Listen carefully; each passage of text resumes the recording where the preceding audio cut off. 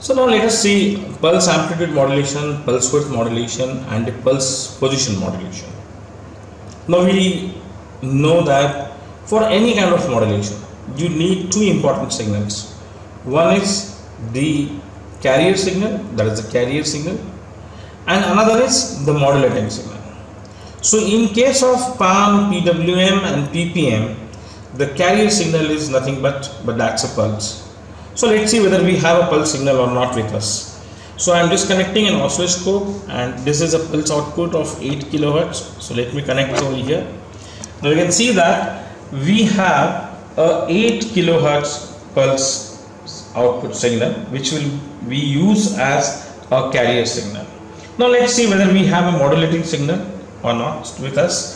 So I'm just connecting this is a sine wave of 1 kilohertz or 2 kilohertz so I just put it at a 1 kilohertz. So I am having a 1 kilohertz sine wave with me as a modulating signal. So we have this sine wave which is a modulating signal of 1 kilohertz. So this is a modulating signal of 1 kilohertz. Now we need to connect these two signals to a circuit which is a CON circuit which is a sampling uh, circuit so let's first connect pulse to a pulse amplitude modulator circuit. So we are just connecting the pulse here. So I have connected this pulse as a to a input of my PAM circuit. Let's connect sine wave as a modulating signal to the modulating signal input. But before connecting that, let me remove this and let me show you what is the output of my sampling circuit? So this is my sampled circuit. So right now i am getting the constant amplitude pulses because i have not connected any modulating signal. Now let's add modulating signal to this.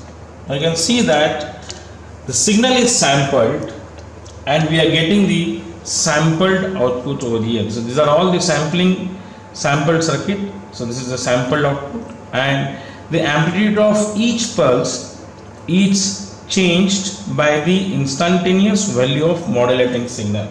So let me change the instantaneous value of modulating signal. So i am just changing its amplitude. So you can see that the amplitude of each pulse is now changing. So basically this is the PAM that is the simple pulse amplitude modulation.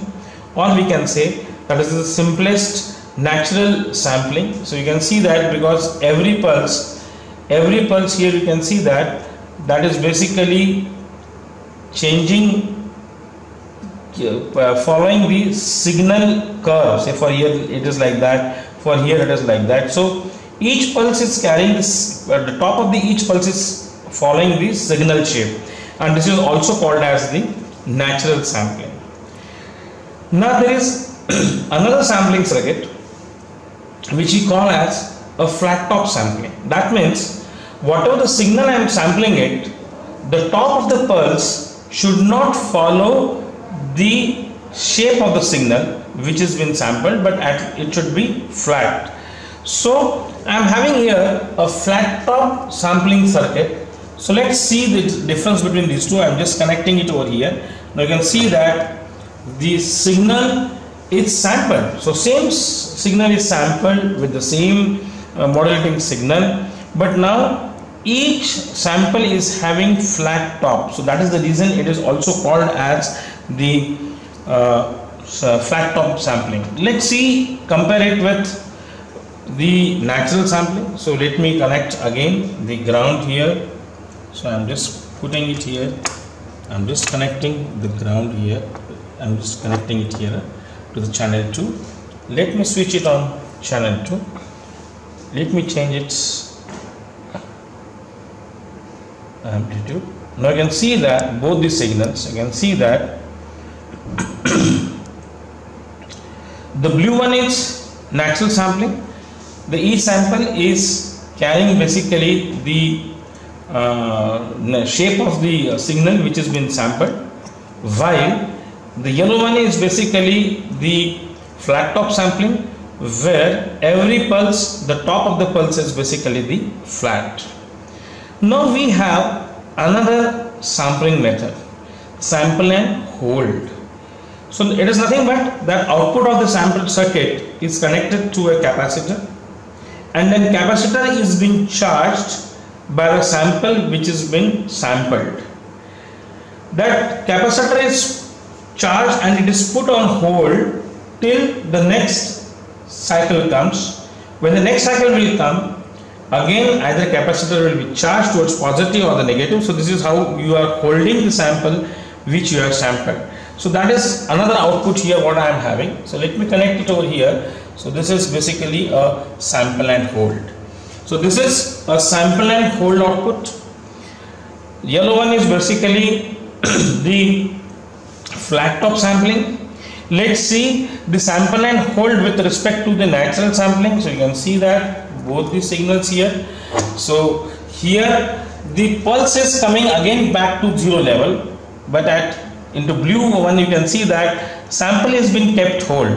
When next sample came again it is being charged further. So this is how that is basically the sample and hold. So these are the three basic sampling or the pulse amplitude modulation techniques one is the natural sampling second is the flat top sampling the third is the sample and hold output. So these three parallel parallelly we have seen and seen the uh, how this pulse amplitude modulated signal is. Now we all know that how to derive your baseband signal, your modulating signal from a sampled signal. So simply we need to connect that sampled output to a low pass filter which will remove the high frequency samples and it will help you to derive the modulating signal. So let's connect that. So i'm just connecting i'm just connecting the sampled output to the filter so which is a low pass filter. Let me channel 2 off now let me connect or let me see here i am getting at uh, this point for example I am getting at this point the sampled signal. So the filter input is a sampled signal. Now I am connecting and giving it to a filter which is having a low pass filter with cutoff frequency of 3.4 kilohertz. So I am just connecting the output of that filter and you can see that we are deriving the same modulating signal. If you can see if I vary the amplitude at the modulated signal you can see that the amplitude of the reconstructed waveform is also varying. Now let's connect sample and hold.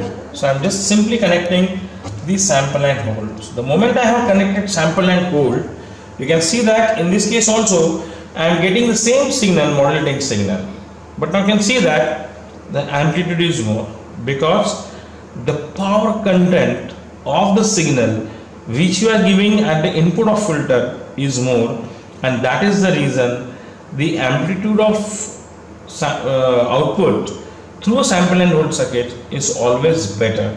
So this is how we are getting with sample and hold. Now let's see how we get. So this is what with the sample now let's connect it to the flat top. So i have connected to the flat top. The flat top again the amplitude has gone down because there is no as such major change what we have done. Instead of natural sampling means the top of the pulse following the shape of the signal instead of that we have just made top of the pulses flat. That is the reason else everything was same. So that is the reason we get here the same output through a PAM modulation so we have seen three major pulse amplitude modulation methods. One is the sampling, second is the sample and hold. The sampling is also called as the natural sampling and the third one we had seen the flat top sampling. We had also seen that how to reconstruct or how to extract the modulating signal from this pulse amplitude modulated output simply by passing through a low pass filter which removes the high sampled frequencies and we get our modulating signal.